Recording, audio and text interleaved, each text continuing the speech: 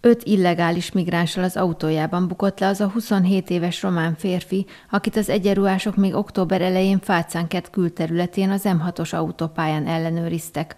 A kocsi egy pihenőben állt meg, ott igazoltatták a rendőrök a sofőrt. Ott, akik közül ketten indiainak, hárman szírnek vallották magukat, de sem a személyazonosságukat, sem magyarországi tartózkodásuk jogszerűségét hitelt érdemlően igazolni nem tudták. Őket előállították a szexárdi rendőrkapitányságra, majd meghallgatásuk után visszakísérték az ideiglenes biztonsági határzárhoz. Az embercsempész ellen a Tolna megye rendőrfőkapitányság bűnügyi osztályán büntetőeljárást indítottak, őrizetbe vették, majd előterjesztést tettek letartóztatása indítványozására, és 2022. október 8-án a Szexádi Járásbíróság őt letartóztatta.